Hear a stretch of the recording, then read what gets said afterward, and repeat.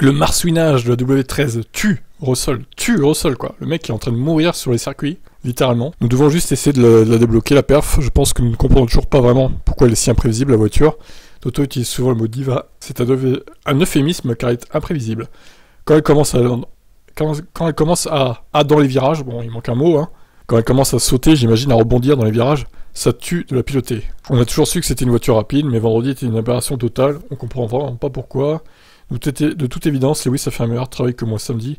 Mais ça, j'ai l'impression de l'avoir déjà lu, en fait.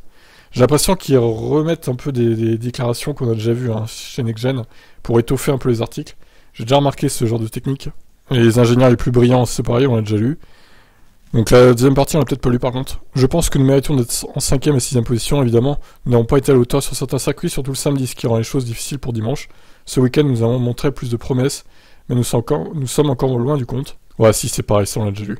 Bon bref, rien de bien nouveau, hein, finalement, dans cette euh, interview. À part que ça le tue de la piloter euh, dans les virages, il est saoulé, quoi, en vrai, en vrai euh, Russell.